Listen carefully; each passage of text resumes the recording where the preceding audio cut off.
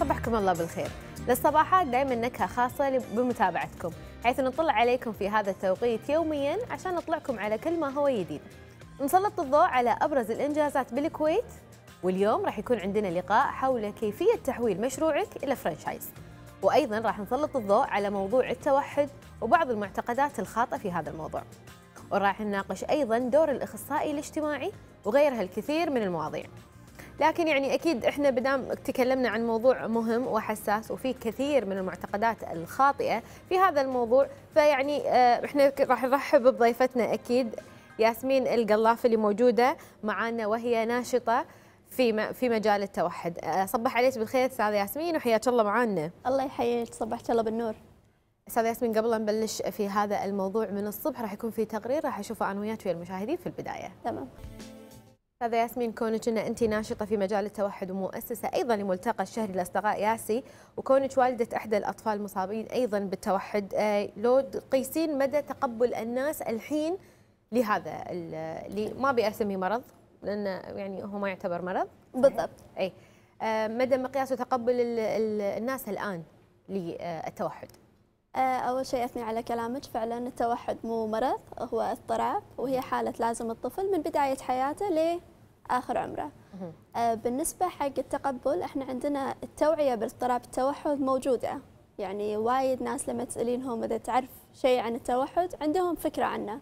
لكن ما زال التقبل آه، غير موجود. أو خلينا نقول التوعية بشكل عام ناقصة لأن من مظاهر التقبل دمج هذيل الأطفال في المدارس آه، في الأنشطة الاجتماعية دمجهم عموما بالحياة ويانا.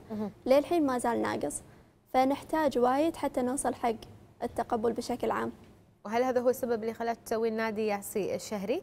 أم إي نعم هذا يعني توجهه مختلف تماما هذا نادي؟ والله ملتقى أصدقاء ياسي هو ملتقى شهري تطوعي يخدم أولياء الأمور بالدرجة الأولى ف أولياء الأمور أنا شفت أنه وايد يحتاجون توعية شلون يتعاملون مع عيالهم نظرا لأن المعلومات وايد شحيحة وال facility اللي متوفرة حق أولياء الأمور هم وايد قليلة مم. فأسسنا هذا الملتقى بشكل شهري النادي فيه أخصائيين يقدمون فيه محاضرات تخدم أولياء الأمور بعدة مجالات.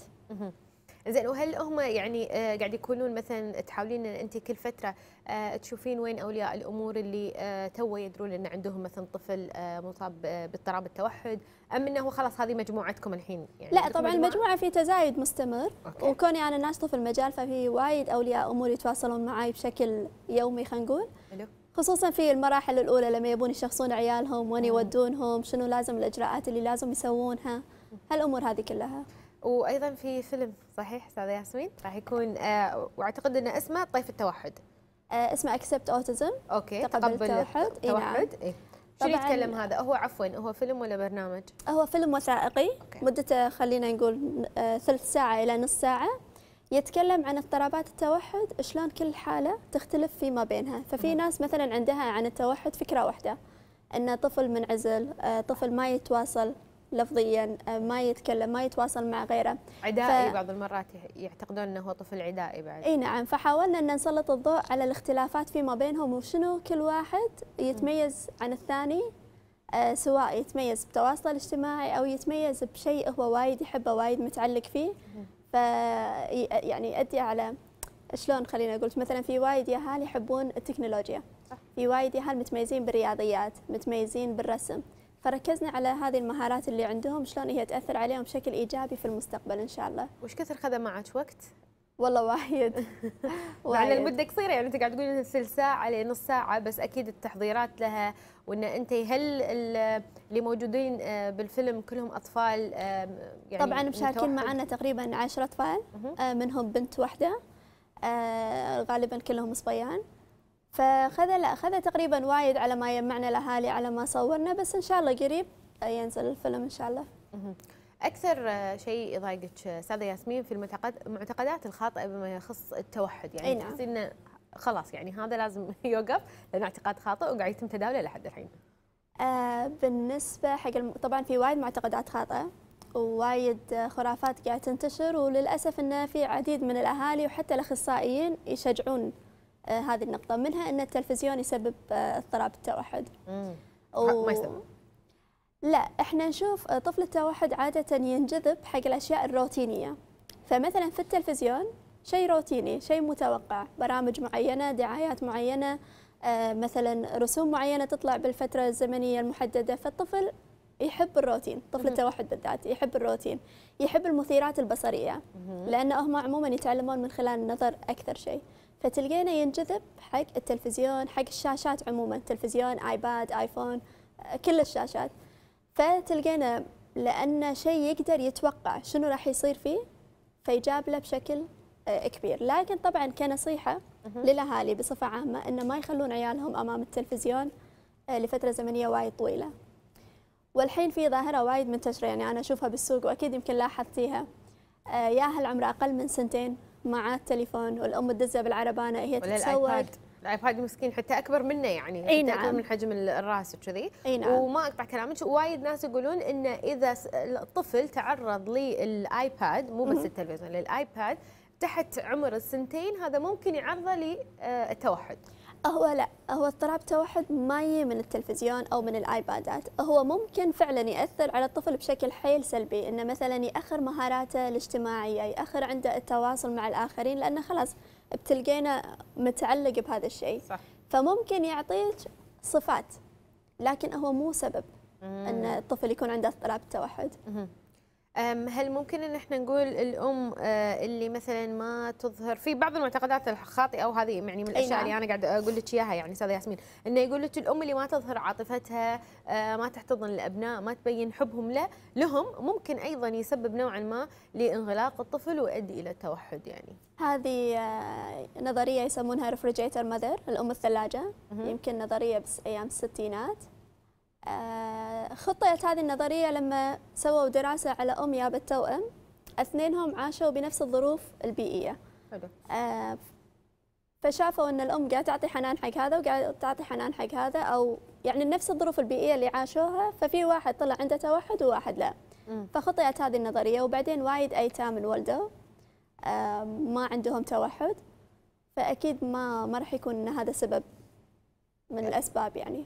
وبما يخص الحين بنتقل إلى موضوع آخر انه يقول لك انه في بعد ناس عندهم معتقدات إن الأم والأب إذا كانوا مصابين بالتوحد ممكن أيضا الطفل آه، يولد في إي التوحد. طبعا هذا ممكن الشانس وايد كبير. إي، تكون أكبر؟ بالضبط.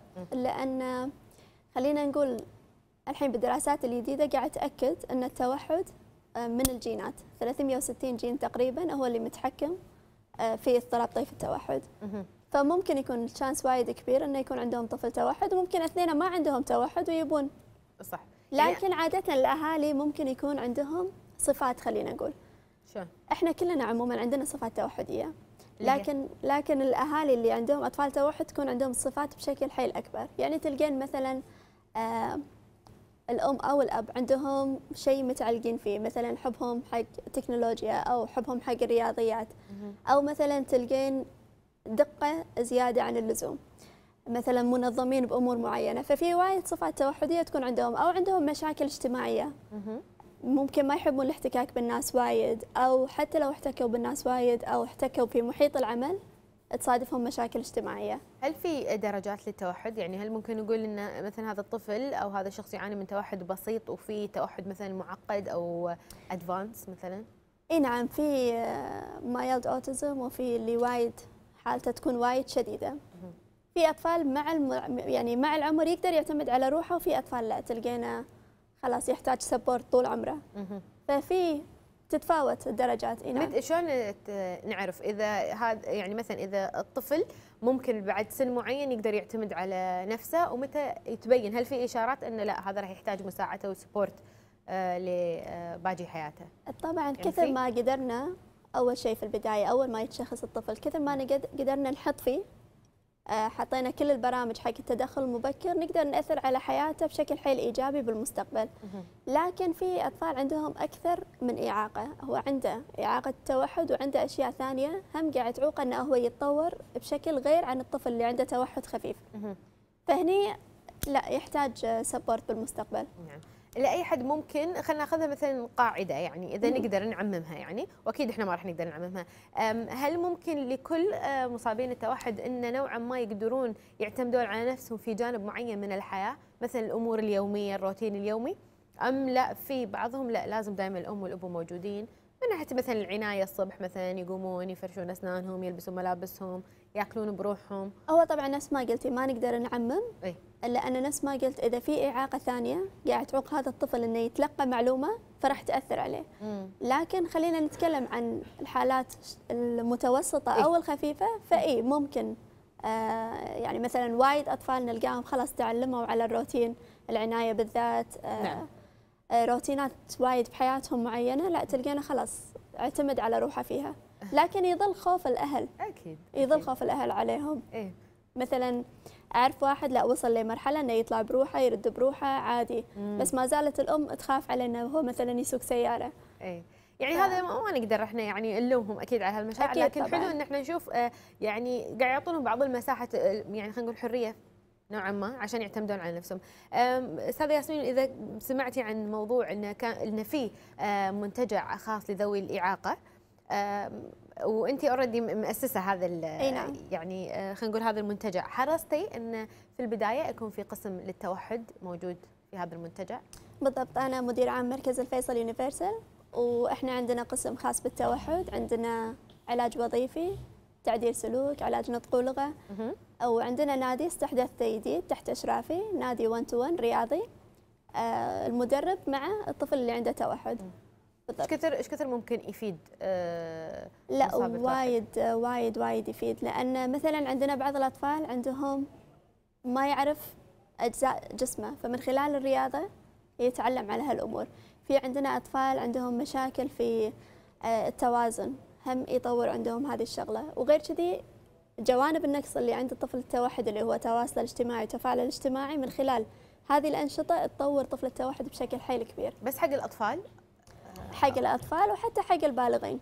يعني هو م- يعني مفتوح حق مختلف الأعمار إي نعم. مختلف الأعمار إي نعم. موجودين. وأيضا للنساء والرجال يعني للاثنين. إي نعم. آه أنا هم أعطي استشارات حق أولياء الأمور شلون تتعامل مع طفل التوحد فحق كل الأعمار عندنا. اللي اللي توهم يكتشفون آه، أو الحين في مرحلة التشخيص لحالة آه، يعني ولدهم ولا بنتهم. أي نعم. يجون يستشيرونك أو يسألونك أسئلة شنو أكثر الأسئلة اللي بحكم إن أنت إحنا صادفناك في السابق أكيد استاذه ياسمين أي. وعرفنا الفترة هذه اللي أنت تم التشخيص فيها آه، ولدك لما تاكدتي وفي مرحلة اللي كانت الإنكار وكنتي ما أنت مقتنعة وكنتي تبين أكيد بالضبط. راح- راح يتعالج وهو ما في إلا العافية. هذه أكيد قاعد تشوفينها من خلال آباء وأمهات ثانيين. أنا أكثر سؤالين انسالتهم. شنو مستقبل ولدي. والسؤال الثاني متى راح يتشافى مم. بالنسبة حق سؤال متى راح يتشافى هذا وايد صعب لأن إحنا للأسف عندنا بعض الأخصائيين بعض الدكاترة اللي غير مختصين في المجال. قاموا يتكلمون عن الشفاء كنوع من التجارة فمثلا عندنا قاموا يتكلمون عن جلسات الأكسجين وشلون إن هي ممكن تشافي طفل التوحد أو عن الخلايا الجذعية آه. فطبعا الأثنين لا هو التوحد موجود مع الطفل من بداية عمره وهو ما هو مرض عشان يكون عنده يتشافى منه لكن هذا الطفل ينتقل من حالة إلى حالة إلى إن شاء الله يوصل إلى أحسن حالاته. فهذا واحد من الأسئلة اللي أنسألها مهم. السؤال الثاني شنو هو مستقبله؟ إحنا لأن عندنا مشاكل في التعليم الأك... يعني التعليم الأكاديمي حق طفل التوحد غير متوفر، مم. فتلقين وايد من عيالنا متفوقين اكاديميا لكن اجتماعيا شوي يعني يظل يظل هذا الاضطراب موجود فتظل وايد سلوكيات عنده تحتاج عمر تحتاج وقت تحتاج مم. إلى تعديل سلوك فالمدارس غير متاحة فتلقين أولياء الأمور وايد يقول لك أنا وين أودي أي مدرسة أي. آه okay شنو راح يكمل؟ لأن تدرين فصول الاحتياجات الخاصة ما لها شهادة أكاديمية. أي. ما يقدر يروح جامعة تالي أو ما يقدر يروح مم. معهد فدائما يكون مهني. أكثر يعني يكون مهني. إي نعم وإذا حب يكمل؟ ما في يعني ما مو متوفر موجود. بالكويت حاليا. بالكويت. إي نعم. نعم. يعني إحنا وحتى المدارس اللي متوفرة أي. عفوا قطعتك حتى المدارس اللي متوفرة وايد شروطها صعبة. يعني تلقين يبون IQ level معين اللي هو اختبار الذكاء. آه، تلقين بمجرد ما صار عند الطفل سلوكيات ما قدروا هم يتحملونها مع إن هم مدارس احتياجات خاصة. المفروض إنه يكون عندهم مدرسين مؤهلين آه، في تعديل السلوك. يقولوا لا مثلا إحنا ممكن نطلعه في نص السنة أو نهاية السنة أو السنة الجاية ما نقدر نستقبله. ففي وايد شروط معقدة بالمدارس. يعني نتمنى أنت بلشتي بهذا الطريق يمكن من من ولا شيء؟ آه، انت ثقفتي نفسك بنفسك نعم، ويمكن. آه، حاولتي الحين توصلين لأكبر شريحة وحاولتي تخدمين العديد من أولياء الأمور وأيضا لكل من يعاني من اضطراب التوحد. طبعا إحنا نشكرك على هذا المجهود نتمنى لك كل التوفيق إن شاء الله يا رب. تسلمين آه، حبيبتي الأستاذة ياسمين القلاف ناشطة في مجال التوحد وأيضا مؤسسة لملتقى أصدقاء ياسي ومديرة عام لأحد المراكز الخاصة بذوي الاحتياجات الخاصة. كانت ضيفتنا في فقرتنا الأولى في هذه حلقة اليوم. نطلع فاصل ونرجع.